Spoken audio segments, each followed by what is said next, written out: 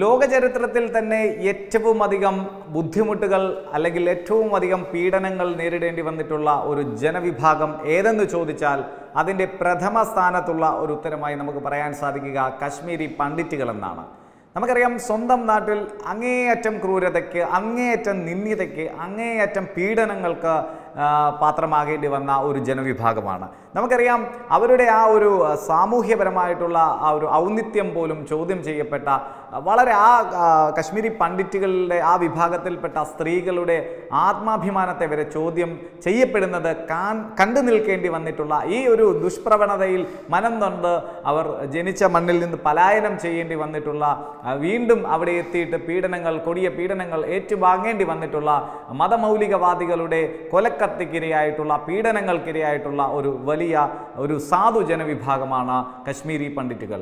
അവർ ഇന്ന് ഇന്ത്യയിൽ നിന്ന് പലായനം ചെയ്തതിന്റെ മറ്റൊരു വാർഷിക ദിനം കൂടിയാണ്. പക്ഷേ ഇപ്പോൾ അവർ വളരെ പ്രതീക്ഷയിലാണ്. കശ്മീരി പണ്ഡിറ്റുകൾക്ക് ഇപ്പോൾ വലിയൊരു പ്രതീക്ഷയാണ് തളിർ തളിരെടുത്തിരിക്കുന്നത് അവരുടെ മനസ്സിൽ. കാരണം നമുക്കറിയാം കേന്ദ്ര സർക്കാർ കശ്മീരി പണ്ഡിറ്റുകൾ ഉൾപ്പെടെയുള്ള പീഡിത ജനവിഭാഗങ്ങൾക്കൊപ്പമാണ് പീഡിത സമൂഹത്തിനൊപ്പമാണ് എന്ന കാര്യത്തിൽ നമുക്ക് യാതൊരു സംശയവും വേണ്ട. അതിന്റെ ഏറ്റവും വലിയൊരു സംഭവമാണ്. മുന്നൂറ്റി എഴുപത് എഴുപതാം അനുച്ഛേദം റദ്ദാക്കിയതിനാലും ജമ്മു കശ്മീർ ലിബറേഷൻ ഫ്രണ്ടിനെ നിരോധിച്ചതിനാലും അതായത് കേന്ദ്ര സർക്കാർ ചെയ്ത കാര്യമാണ്. കശ്മീർ താഴ്വരയിലേക്ക് തിരികെ പോകാൻ തങ്ങൾ തയ്യാറാണ് എന്നാണ് കശ്മീരി പണ്ഡിറ്റുകൾ ഇപ്പോൾ ഒരൊറ്റ സ്വരത്തിൽ പറയുന്നത്. അവരെ പ്രതിനിധീകരിച്ചുകൊണ്ട് അവരുടെ നേതാവ് അതായത് കശ്മീരി ഹിന്ദു അഭയാർത്ഥി നേതാവായിട്ടുള്ള അദ്ദേഹം അജയ് ചൃങ്കു ചൃങ്കു എന്നാണ് അദ്ദേഹം ക്ഷമിക്കണം ചുറുങ്കു അജയ് ചുറുങ്കു എന്ന വ്യക്തി പറയുന്നത് തങ്ങൾ കേന്ദ്ര സർക്കാരിൽ തങ്ങൾക്ക് വിശ്വാസമുണ്ട്. നരേന്ദ്രമോദിജിയെയും അമിത്ഷാജിയെയും ഒക്കെ തങ്ങൾക്ക് വിശ്വാസമുണ്ട്. അതുകൊണ്ടാണല്ലോ ജമ്മു കശ്മീർ ലിബറേഷൻ ഫ്രണ്ടിനെ വിമോചന മുന്നണി ജമ്മു കശ്മീരിനെ ഇന്ത്യയിൽ നിന്ന് അങ്ങ് വിമോചിപ്പിച്ചുകൊണ്ട് എങ്ങാണ്ട് കൊണ്ട് തളച്ചിടാനുള്ള അല്ലെങ്കിൽ സ്വയം ഒരു രാജ്യമായി പ്രഖ്യാപിക്കാനുള്ള ചില ചില ഉടായ്പ് തരകിട വർഗീയ ജിഹാദികളുടെയൊക്കെ ഒരു ഉടായ്പ് തട്ടിക്കൂട്ട് സെറ്റപ്പായിരുന്നു ഈ ജമ്മു കാശ്മീർ ലിബറേഷൻ ഫ്രണ്ട്. ഇതിനെയൊക്കെ കേന്ദ്ര സർക്കാർ എന്താ പറയുന്നത് ഒരു എന്താ ഒരു ചുള്ളിൽ കമ്പ് ഒടിച്ചു കളയുന്ന പോലെയാണ് ഒടിച്ച് ദൂരെ കളഞ്ഞത്. കശ്മീരിന്റെ സ്വയംഭരണാവകാശവും എടുത്ത് അപ്പുറത്തെ കശ്മീർ എന്താ പറയണ്ടേ എടുത്ത് ഡാൽ തടാകത്തിലേക്ക് തന്നെയാണ് എറിഞ്ഞത്. നമുക്കറിയാം മുന്നൂറ്റി എഴുപതാം അനുച്ഛേദവും ഒപ്പം തന്നെ ഈ കശ്മീർ ലിബറേഷൻ ഫ്രണ്ടിനെ നിരോധിച്ചതിനാലും കശ്മീരി പണ്ഡിറ്റുകൾ ആത്മവിശ്വാസത്തിലാണ്. തങ്ങൾ സർക്കാർ ആവശ്യപ്പെട്ടുള്ളൂ ഏത് നിമിഷവും പൂർണ മനസ്സോടുകൂടി കശ്മീരിലേക്ക് തിരികെ പോകാൻ ഞങ്ങൾ തയ്യാറാണ് എന്നാണ് അവരുടെ നേതാവായിട്ടുള്ള അജയ് ശൃംഗു പറയുന്നത്.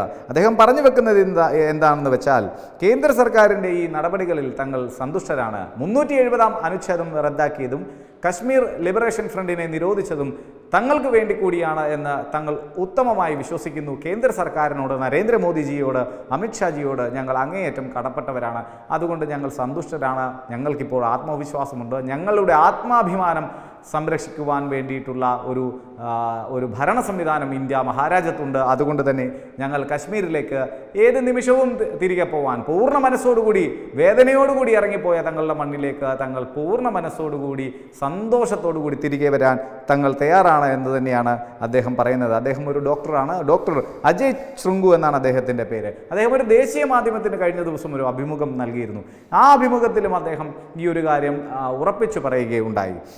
വംശഹത്യാ യുദ്ധത്തിന്റെ ഇരകളാണ് കശ്മീർ താഴ്വരയിലെ ഹിന്ദുക്കൾ. നമുക്കറിയാം സ്വാഭാവികമായും ലോകത്ത് തന്നെ ഏറ്റവും കൂടുതൽ കൊടിയ പീഡനം ഏറ്റെടു ഏറ്റുവാങ്ങേണ്ടി വന്ന ഒരു മതവിഭാഗം ഒരു ജനവിഭാഗം. അങ്ങനെ തന്നെ നമുക്ക് പറയാം. നമുക്കറിയാം റോഹിംഗ്യൻ അഭയാർത്ഥികൾക്കൊക്കെ വേണ്ടി അല്ലെങ്കിൽ ലോകത്തിൽ എവിടെയും അഭയാർത്ഥികൾ പീഡിപ്പിക്കപ്പെടുന്ന ആളുകളാണ്. അഭയാർത്ഥികൾ എല്ലാ ആളുകളും പാവപ്പെട്ട അഭയാർത്ഥികൾ. നമ്മൾ പറഞ്ഞത് ഒരു അഭയാർത്ഥി എന്ന രീതിയിൽ മറ്റൊരു സ്ഥലത്ത് ഇന്ന് ആ, രാജ്യത്തിന്റെ അഖണ്ഡതയെയും ഐക്യത്തെയും തകർക്കാൻ ശ്രമിക്കുന്ന റോഹിംഗ്യൻ പോലെയുള്ള കടുത്ത ഇസ്ലാമിക തീവ്രവാദികളായിട്ടുള്ള അഭയാർത്ഥികളെ അല്ല നമ്മൾ പറയുന്നത്. നമുക്കറിയാം ഗത്യന്തരമില്ലാതെ സ്വന്തം നാട്ടിൽ നിന്നും പലായനം ചെയ്യേണ്ടി വരുന്ന ചില അഭയാർത്ഥികളുണ്ട്. അവരൊക്കെ അവരൊക്കെ എപ്പോഴും നമുക്ക് കണ്ണു നിറയ്ക്കുന്ന ഒരു കാഴ്ചയാണ്. നമുക്കറിയാം ഒരു ആ, കുർദു ബാലനായിട്ടുള്ള ഒരു അലൻ നമുക്ക് മനസ്സിലാക്കാം. ഐറിഷ് അലൻ കുർദി എന്ന് പറയുന്ന ആ ബാലൻ ഓർമ്മ ശരിയാണെങ്കിൽ അലൻ കുർദി അപ്പോൾ അദ്ദേഹം ഒരു അഭയാർത്ഥി ബോട്ട് മുങ്ങി മരിച്ചുപോയ അദ്ദേഹം ആ കുട്ടിയുടെ മൃതദേഹം തീരത്തടിഞ്ഞതൊക്കെ നമുക്കറിയാം. വളരെ സങ്കടകരമായ ഒരു ഓർമ്മയായിരുന്നു. പക്ഷേ അതിലേക്ക് വരാൻ നമ്മൾ കാശ്മീരി പണ്ഡിറ്റിലേക്ക് വരുമ്പോൾ ഈ കശ്മീരി പണ്ഡിറ്റുകൾ കശ്മീരിലെ ഹിന്ദുക്കൾ ജനിച്ച മണ്ണിൽ ഏറ്റവും കൂടുതൽ പീഡിതരായിട്ടുള്ള മനുഷ്യരാണ്. അവരെ അവർക്ക് വേണ്ടി കണ്ണീര് ഒപ്പ ഒഴുക്കുവാനും അവരുടെ കണ്ണീരൊപ്പുവാനും ഇവിടുത്തെ ഒരു കപട മതേതരവാദികളും ഇല്ലായിരുന്നു. ഇവിടുത്തെ പ്രമുഖ രാഷ്ട്രീയ പാർട്ടികൾ ബി ജെ പി ഒഴികെ ഒരു രാഷ്ട്രീയ പാർട്ടിയും ഉണ്ടായിരുന്നില്ല കശ്മീരിലെ ഹിന്ദുക്കൾക്ക് വേണ്ടി പറയാൻ. അതിന്റെ കശ്മീരിലെ ഹിന്ദുക്കളെ സംരക്ഷിക്കുമെന്ന ബി ജെ പി സർക്കാരിന്റെ പ്രഖ്യാപിത നയമാണ് ഇപ്പോൾ നടപ്പിലാക്കിയത്. കശ്മീരിന്റെ സ്വയംഭരണാധികാരം എടുത്തു കളഞ്ഞു കശ്മീർ ലിബറേഷൻ ഫ്രണ്ടിനെ നിരോധിച്ചു. അപ്പോൾ തന്നെ കശ്മീരിലെ പണ്ഡിറ്റുകൾ പണ്ഡിറ്റുകൾ ഹിന്ദുക്കൾ അവർ പറയുന്നു തങ്ങൾ പൂർണ മനസ്സോടെ തങ്ങൾ പലായനം ചെയ്ത മണ്ണിലേക്ക് തങ്ങളുടെ സ്വന്തം മണ്ണിലേക്ക് തങ്ങൾ തിരിച്ചു വരാൻ തയ്യാറാ ആണ് എന്ന്. ഈ വംശഹത്യയെ വെറും ദേശാന്തര ഗമനമെന്ന് പറഞ്ഞ് നിസ്സാരവൽക്കരിക്കാനുള്ള ആ, നിസ്സാരവൽക്കരിക്കാനാണ് ഇതേവരെയുള്ള അതായത് ബി ജെ പിക്ക് നരേന്ദ്രമോദിജി അധികാരത്തിൽ എത്തുന്നതിന് മുമ്പ് വരെയുള്ള സംസ്ഥാന കേന്ദ്ര ഗവൺമെന്റുകളെല്ലാം ശ്രമിച്ചുകൊണ്ടിരുന്നത്. ഇന്ത്യ എന്ന രാഷ്ട്രവും ഇവിടുത്തെ ഉദ്യോഗസ്ഥ രാഷ്ട്രീയ വൃന്ദവും തങ്ങളെ വംശഹത്യ ചെയ്യുന്ന സമയത്ത് നോക്കുകുത്തികളായിരുന്നുവെന്നാണ് കശ്മീരി പണ്ഡിറ്റുകളും കശ്മീരിലെ ഹിന്ദുക്കളും ഒക്കെ തന്നെ ഇപ്പോൾ ഒരേ സ്വരത്തിൽ പറയുന്നത്. അന്നും പറയുന്നു ഇന്നും പറയുന്നു. പാകിസ്ഥാനും മുസ്ലിം വിഘടനവാദികളും ഞങ്ങളെ കൊന്നു തള്ളിയപ്പോൾ അന്നത്തെ രാഷ്ട്രീയക്കാരും ഗവൺമെന്റും ഒന്നും ചെയ്തിരുന്നില്ല. ഒരാളെ കൊന്ന് പത്ത് പേരെ ഭയപ്പെടുത്തിയാണ് ഈ പാകിസ്ഥാൻ വിഘടനവാദി മുസ്ലിം കൂട്ടുകെട്ട് കശ്മീരിലെ ഹിന്ദുക്കളെ വംശഹത്യ നടത്തിയത്. ഇതെല്ലാം നമ്മൾ കണ്ടുകൊണ്ടിരുന്നതാണ്. കശ്മീരിലെ ഹിന്ദുക്കളുടെ ആവാസ വ്യവസ്ഥ തന്നെ തകർത്തെറിയപ്പെട്ടു. ഞങ്ങളുടെ ക്ഷേത്രങ്ങൾ വീടുകൾ മൂർത്തികൾ എല്ലാം വളരെ വ്യവസ്ഥാപിതമായി. വ്യാപകമായി തകർത്ത് കളഞ്ഞു എന്നും കശ്മീരിലെ ഹിന്ദുക്കൾ ഒന്നടങ്കം പറയുന്നു. കശ്മീരി ഹിന്ദുക്കളുടെ വ്യതയാണത്. കശ്മീരിലെ ഹിന്ദുക്കളുടെ കണ്ണുനീരാണത്. കശ്മീരിലെ ഹിന്ദുക്കളുടെ രോദനമാണത്.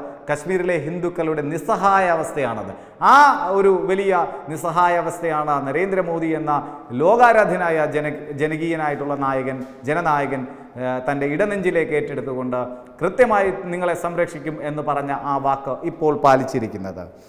മാത്രവുമല്ല എല്ലായിടത്ത് അഭയാർത്ഥികളായി രാജ്യത്തിന്റെ പല ഭാഗത്തും അഭയം തേടിയപ്പോൾ ഇത് വംശഹത്യയാണെന്ന് സമ്മതിക്കാൻ പോലും ഒരു ഗവൺമെന്റുകളോ രാഷ്ട്രീയക്കാരോ തയ്യാറായില്ല. ആ തയ്യാറാകാൻ ബി ജെ പിയും നരേന്ദ്രമോദിയും അമിത്ഷായും ഒക്കെ വേണ്ടി വന്നു എന്ന് കശ്മീരി ഹിന്ദുക്കൾ ഒന്നടങ്കം പറയുന്നു. നമുക്കറിയാം. അത് തങ്ങളെ വീണ്ടും വംശഹത്യ ചെയ്യുന്നതിന് തുല്യമാക്കിയിരുന്നു എന്നുകൂടിയാണ് കശ്മീരി ഹിന്ദുക്കളുടെ പ്രതിനിധിയായി സംസാരിക്കുന്ന ഡോക്ടർ അജയ് ചൃങ്കു പറയുന്നത്. കാരണം അത്രത്തോളം ആ വാക്കുകളിൽ നിന്ന് ആ വ്യസ വ്യസനം നമുക്ക് തിരിച്ചറിയാം. അത്രത്തോളം വിഷമം അത്രത്തോളം നിസ്സഹായാവസ്ഥ ആ വാക്കുകളിൽ നിന്ന് നമുക്ക് വായിച്ചെടുക്കാൻ സാധിക്കും. നമ്മൾ മനസ്സിലാക്കണം കശ്മീരി ഹിന്ദുക്കൾ ഒറ്റയ്ക്കല്ല. ഒരു നട്ടലുള്ള കേന്ദ്ര സർക്കാർ കശ്മീരി ഹിന്ദുക്കൾക്കൊപ്പമുണ്ട്. കശ്മീരിലെ വേദനിക്കുന്ന ഹിന്ദു ജനവിഭാഗത്തിനൊപ്പമുണ്ട്. നിങ്ങൾക്ക് നിങ്ങൾ പിറന്ന മണ്ണിൽ നിങ്ങൾ ജനിച്ച് വളരേണ്ട നിങ്ങളുടെ കുട്ടികൾ ജനിച്ച് വളരേണ്ട മണ്ണിൽ നിങ്ങൾക്ക് സുരക്ഷിതരായി കഴിയാനുള്ള ഒരു സംവിധാനം ഈ കേന്ദ്ര സർക്കാർ ദേശീയ ജനാധിപത്യ സഖ്യത്തിന്റെ നരേന്ദ്രമോദി എന്ന ലോകാരാധ്യനായ വികസന നായകൻ ജനനായകൻ നേതൃത്വം നൽകുന്ന അമിത്ഷാ എന്ന നട്ടലിന്റെ സ്ഥാനത്ത് ഉരുക്ക് ദണ്ടുള്ള ഒരു ആഭ്യന്തരമന്ത്രിയുള്ള ഈ ഇന്ത്യ മഹാരാജ്യത്തിന്റെ സ്ഥിരതയാർന്ന സുസ്ഥിര സർക്കാർ നിങ്ങൾക്ക് വേണ്ട എല്ലാ സഹായങ്ങളും ചെയ്തു തരും എന്ന കാര്യത്തിൽ ഒരു സംശയവും വേണ്ട. നമുക്കറിയാം ഇന്ന് അവർ പലായനം ചെയ്ത ഒരു മറ്റൊരു വാർഷിക ദിനത്തിൽ നിങ്ങളെ കാത്ത് എന്തെങ്കിലും ഒരു സന്തോഷകരമായ വാർത്ത തന്നെ ഉണ്ടാകും. പക്ഷേ നിങ്ങൾക്ക് ഒരു കാര്യം ഉറപ്പ് പറയാൻ സാധിക്കും. കശ്മീരി പണ്ഡിറ്റുകളോട് ഉറപ്പ് പറയാൻ സാധിക്കും. നിങ്ങളുടെ മണ്ണിൽ നിങ്ങൾ ജനിച്ച് വളർന്ന നിങ്ങളുടെ മണ്ണിൽ ഇനി നിങ്ങളുടെ കുട്ടികൾ നിങ്ങളുടെ വരും തലമുറ ജനിച്ച് വളരേണ്ട മണ്ണിൽ നിങ്ങൾ സുരക്ഷിതരായി തിരികെ എത്തുന്ന കാലം വിദൂരമല്ല എന്ന ഉറപ്പ് മാത്രമാണത്.